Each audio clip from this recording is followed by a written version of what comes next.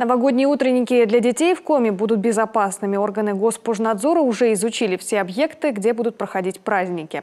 Выявленные нарушения устранены практически полностью. Кроме того, в рамках операции «Новый год» проверили места продажи пиротехники и социальные объекты с круглосуточным пребыванием людей. О результатах Ольга Коняева.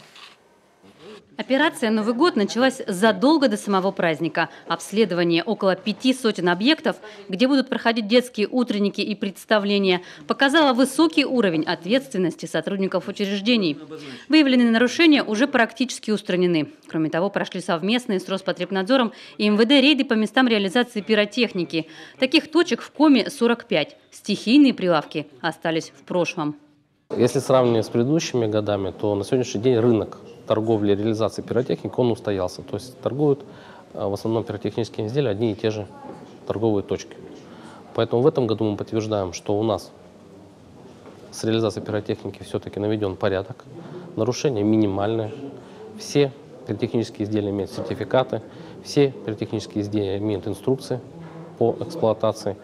И вся торговля осуществляется в соответствии с требованиями. Не так все гладко в социальных учреждениях с круглосуточным пребыванием людей. Пять пожаров за последнюю пятилетку, одна жертва, материальный ущерб более миллиона рублей. 20% зданий и сегодня деревянные. Органы Госпожнадзора обнаружили несколько сотен нарушений. Нет или не работает автоматическая сигнализация, не подготовлены пути эвакуации. Все праздничные дни э, в главном управлении будет работать оперативный штаб, будут дежурить оперативные группы во всех гарнизонах которые дислоцируются на территории ваших муниципалитетов.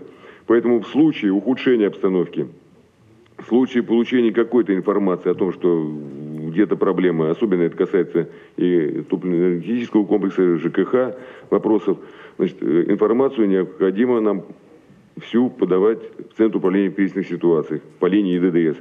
Мы будем готовить соответствующие справки как для председателя КЧС Лазарева Константина Григорьевича, для того, чтобы оперативно реагировать, оказывать помощь. Во время новогодних и рождественских каникул на социально значимых объектах решено принять дополнительные меры безопасности. Увеличить количество дежурного персонала, особенно ночью, и там, где проживают маломобильные пациенты, провести дополнительные тренировки по эвакуации людей, назначить ответственных должностных лиц и добровольцев пожарных формирований, обеспечить проезд пожарной техники, тем более, что погода, судя по прогнозу, снова не порадует постоянством.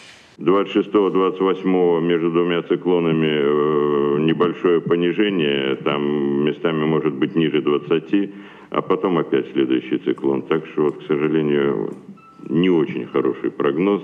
Руководителям муниципалитетов напомнили, в празднике придется быть в полной боевой готовности. Например, нежданно-негаданно могут ударить морозы, а потому нужно заранее проверить пункты обогрева на трассах. Ольга Коняева, Олег Жуковский, телеканал «Юрган».